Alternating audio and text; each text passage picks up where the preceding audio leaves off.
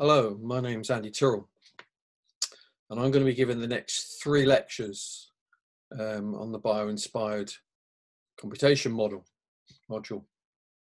Uh, Steve, Steve Smith's already given you a lot of um, information and background and detail on, on software um, within computational intelligence systems and bio-inspired systems. Um, and the next three lectures that I'm going to talk about are really focused more on hardware. So they're looking at hardware systems and how we might apply computational intelligent methods um, to such systems. And of course, being in an electronic engineering department, uh, I'm going to focus very much on, on applying evolutionary techniques to, to electronic hardware. Although if you, if you do a bit of a search, um, you'll find that, that um, evolutionary computation has, has been applied to many types of hardware, not just um, electronic hardware. So in this in this first lecture, um, I'm going to be talking a bit about an introduction to evolvable hardware, and then focusing somewhat on on digital hardware. Um, given we're we're doing this online, um, what I've done is each lecture would be divided into three parts, which I'll refer to not unexpectedly as parts one, two, and three, and each of those will be around 15 or 20 minutes.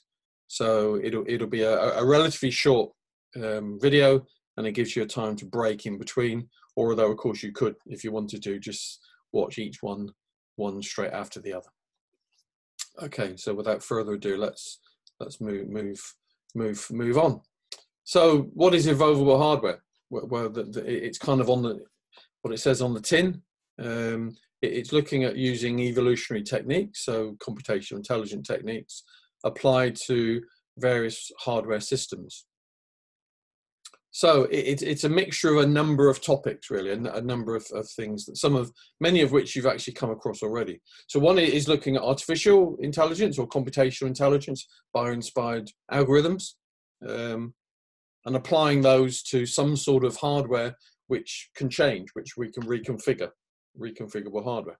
And so one obvious example of that, which which you'll all be aware of, um, and which we'll talk into some detail in in in part um, part two of, of this lecture is, is is FPGAs, so hardware which we can reconfigure with with using software. And by using those two things combined, reconfigurable hardware and, and computational intelligence, we can actually automate design. So we, we rather than doing everything, if you like, by hand, we might be able to use computational intelligence to, to automate design. We can produce autonomous systems so systems that make decisions on their own and reconfigure or adapt as, as time goes on. And all of those things combined allow us to do reconfigurable evolvable hardware, which is kind of the uh, an overlying title of these series of, of three lectures. Okay, so let's move on. What what is evolvable hardware? Sorry, why do we want to use evolvable hardware? Well, it, it allows us to develop flexible and survivable systems systems that are capable of doing things without human intervention autonomously. So obvious examples are, are to reconfigure themselves, so self self um, configuration, to tune parameters to maybe make themselves better over time, and and self repair. So when, when things go wrong. So we, we can adapt we can uh, adapt adaptively change um, through reconfiguration through e evolutionary techniques, computational techniques, um, appropriately um, for signal processing, for sensing, for control, um, and, and a, a, kind of an obvious example, which which most of us I think can can imagine, is this idea of, of a fault coming and allowing a system to survive by changing itself um, autonomously. And evolvable hardware has been proven in, uh, in, in, in autonomous design successfully in, in calibrating systems, so physical systems, where maybe the model um, that you're simulating the original system with, when you put it on actually the hardware, there are differences between the simulation and the hardware. And so we could use evolution to fine tune and, calibrate the system. Um, and we can have in-field adaptation of, of the hardware to do with things like sensing and control, and indeed robotics. And we'll see in in the third lecture of this three lecture series, um, uh, the application to robotics. There's a couple of examples in this in, in, in lecture one as well. And then finally, we can actually use evolution to, for design. So from scratch, if you like, from a random um, um, starting point to actually produce original designs. And we'll see some examples of those now. Um, so let me, let me give you a, a very brief example of, of, of, um, of one example of, of, of, evolvable hardware. So this, this is a, a chip um, that, that was designed at York. In fact, it's called the Panda chip. And we will look at this in, in, in lecture three of, of, um, of, of, this series. And so this chip has a, a, a series of, of, of, of, blocks, if you like. They're all similar. It, it, it's similar to an FPGA, but we'll see later on it's not quite an FPGA. So it is, it's similar to an FPGA. So it's made up of, of a series of, of identical blocks, of identical cells within the system. And if you run a, a, a small program on each of those cells, which says, okay, what's the maximum frequency that I can go at in, in this series of cells? What these colors suggest is the frequency or they represent the, the maximum frequency of these cells.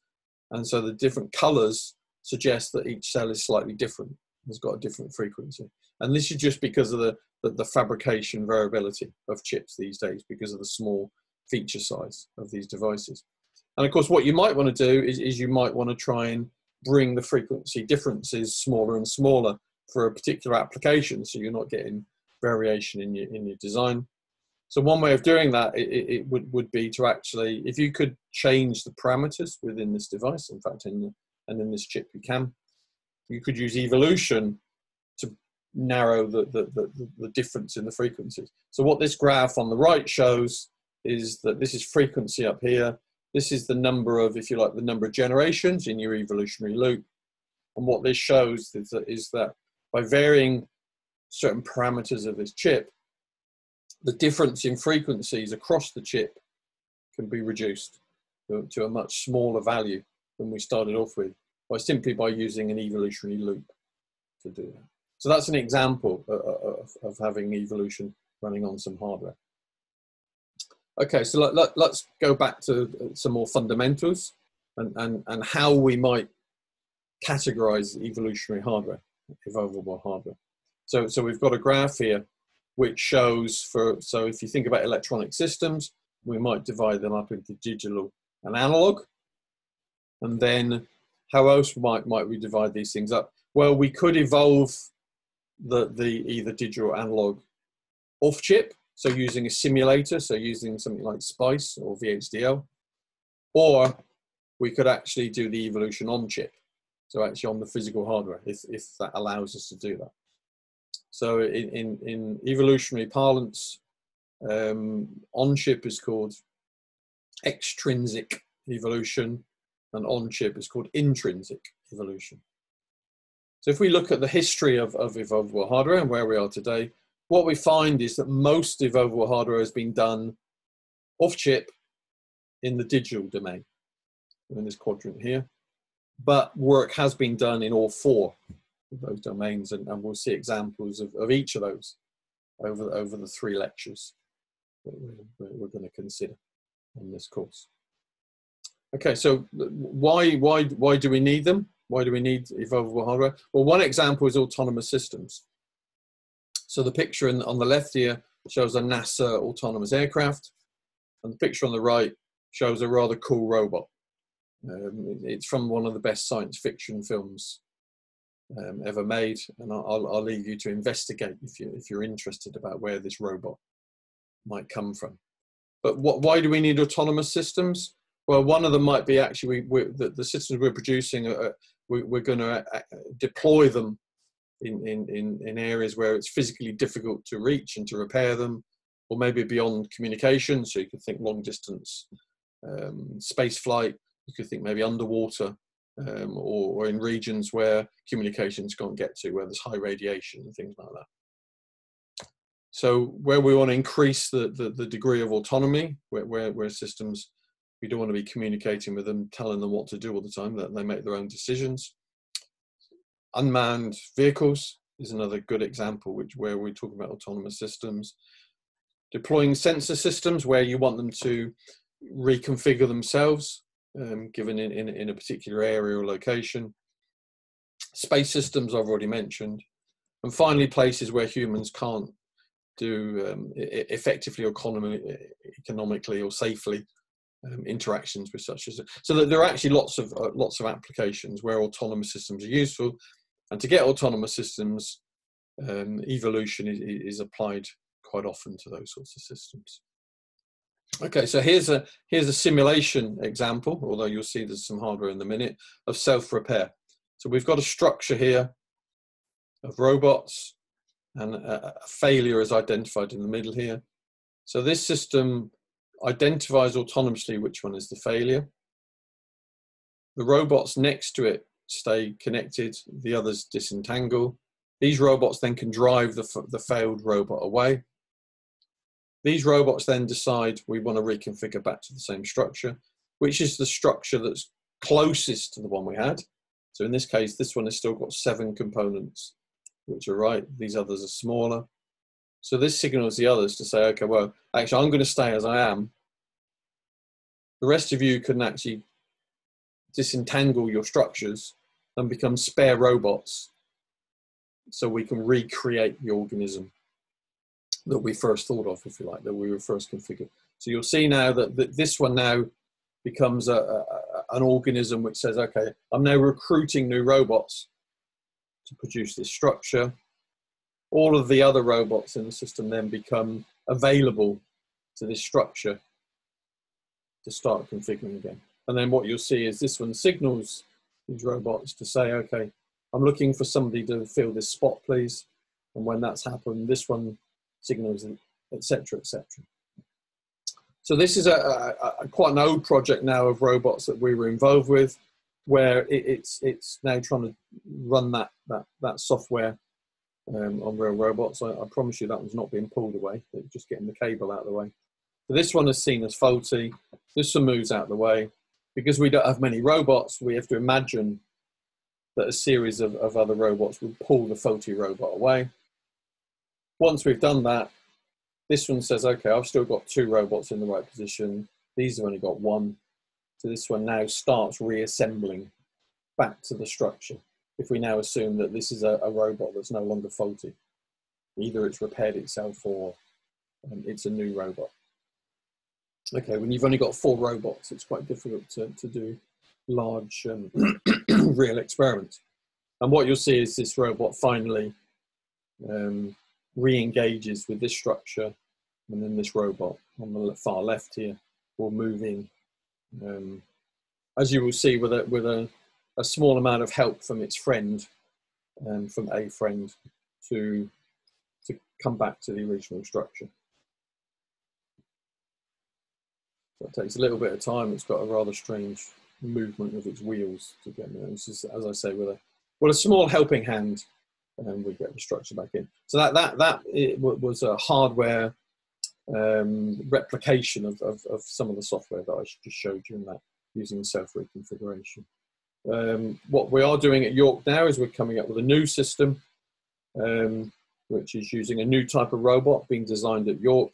So these are simulations of different structures um, with a kind of a master and slaves structure type thing, thing here. One of the interesting things of when you perform these sort of modular robot structures is actually the movement of the whole structure is actually quite difficult to, to coordinate. You need you need an idea of, uh, if you like, a clock size to say, okay, I'm going at three o'clock or five o'clock or six o'clock to move all the robots.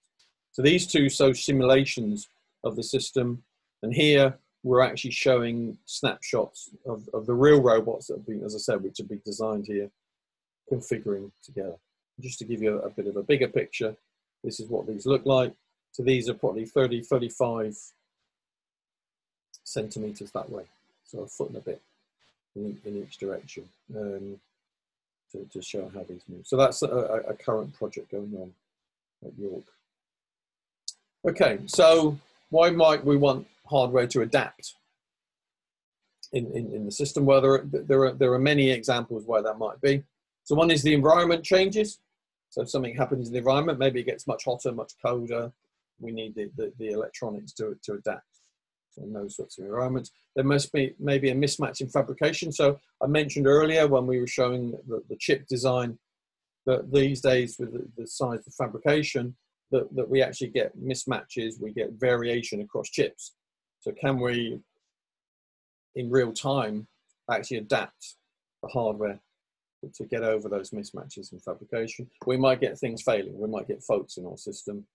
We might want new functionality. And remember, if we can't get to it, or it's not easy to get to, then maybe we want it to evolve the new functionality itself. Or we might get new users who want a different kind of interface, a different functionality with the system. So there are many reasons why we might actually want hardware to adapt um, in, in, in, in real time. Okay, so what are the components that we need, that we might need um, to allow us to, to, to, to have evolvable hardware systems? So the, the, the first set is the hardware. And so we actually need hardware that we can change. So most of the stuff we will look at is, is electronics. Actually, it's focused on electronics, but some work has been done on, on in the past on designing antennas. Um, so many of you, I'm sure, will have, have, in probably in the second year will have looked at antenna design. Um, but actually, some work has been done on automatic design of antennas um, using evolutionary techniques, and also MEMS and biomems devices might maybe things that change. But as I said, a lot of the stuff we will look at is, is going to be electronics, um, hardware, um, digital, analog, and, and some applied to robotics as well, in fact. So, but we need some hardware that we can change. We then need some mechanisms that, that have got some intelligence in them, which tells the hardware how to change. So this is a lot of the work so far you've been doing with Steve, looking at different evolutionary algorithms, um, so kind of search and optimization algorithms and maybe using knowledge um, to, to help increase that, that um, uh, evolutionary system. And then bringing those two things together, um, we, have got evolvable hardware. And we'll see later on that this could be some proprietary hardware, that's some stuff we can buy off the shelf, um, or indeed a lot of people have actually designed specific hardware to allow evolvable hardware systems to, to work. So we'll see examples of both of those in, in later lectures. Okay, and, and the intelligence part of these mechanisms are uh, built in, um, allow us to, to control the, the adaptation and the self-configuration. I say allow us, but of course what we want it to do is actually to do this autonomously. Okay, so this is the end of the first part of, of, of lecture one. What we've got here are, are, are three papers which, which um, uh, are some of the old foundations, if you like, of of evolvable hardware.